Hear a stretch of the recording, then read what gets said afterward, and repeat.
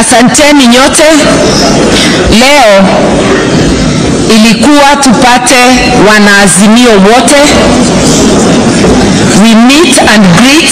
We appreciate ourselves for a, a very good campaign, a four months campaign versus a four year or was it a nine year campaign. Well done. You're nothing short of heroes.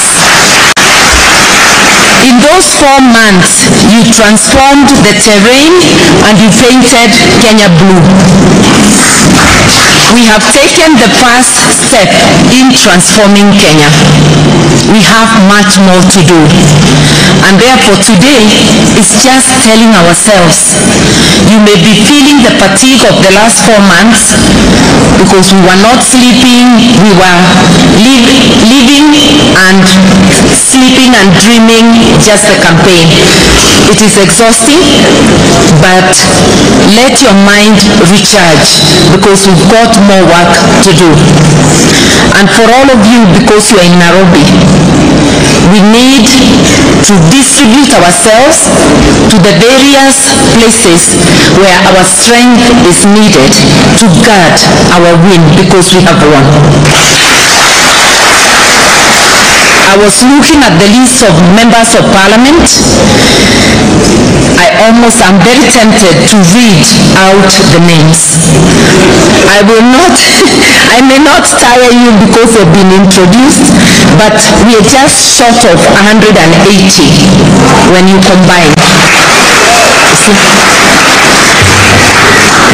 We have 24 governors at the moment.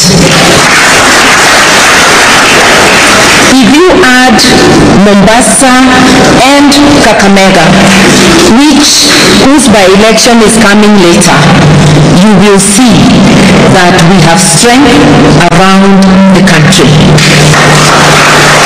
If you look at our competition, they are just at about 130 members of parliament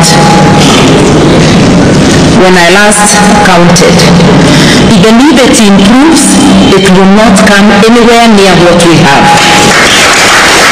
So even without anybody telling you the numbers, with those numbers of members of parliament, of governors, of senators, senators we have 23, they, ha- they are one up. But if you look at everything, including um, all the other seats combined, there is no way, no way the tally can be against us.